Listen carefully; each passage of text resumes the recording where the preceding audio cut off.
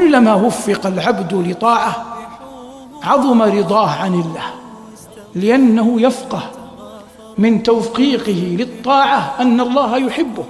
حبنا الله وإياه